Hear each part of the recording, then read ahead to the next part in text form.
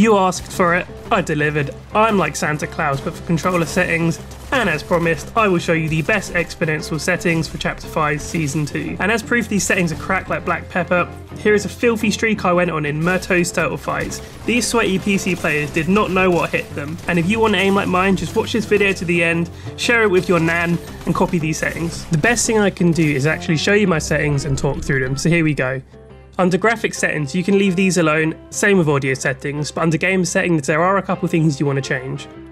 If you go down to hurdle activation, you want to change that from hold jump to hold forward. And the reason is, by running at any kind of open window or even a hole in edit in a build, you actually will jump through them straight away and catch your opponents off guard. Here, I'll show you what I mean.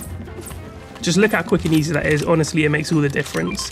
So the next thing you want to do under this setting is disable pre-edits. This is because they always mess me up on controller. You want to make sure you've got turbo building on and auto confirm edits to both. Now you can have this off, but if you're a controller like me, obviously it makes it a lot quicker and easier.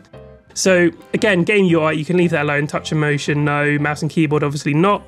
Controller settings, this is where it gets really interesting. So you need to make sure you have Builder Pro on, that is the most important thing.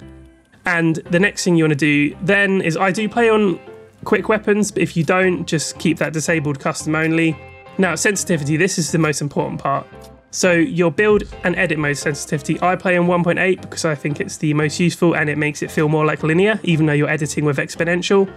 Then you want to turn on advanced settings and under your look sensitivity, you want 44 vertical and horizontal.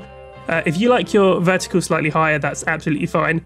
This is just a guideline, so put these, put them as these settings, play a couple games, and if it feels too slow, raise it. If it feels too fast, lower it, just by a couple of percent at a time. You want to turn off all boosts of any sort because these make your settings feel inconsistent. Then under your aim down sight settings, you want 14% vertical and horizontal. Again, just a guideline. If you feel like it's too fast, lower it by a couple percent. If you feel like it's too slow, raise it by a couple percent. Play a couple games to get used to it and see how you go. Again, you want all the boosts off because that just makes it feel inconsistent.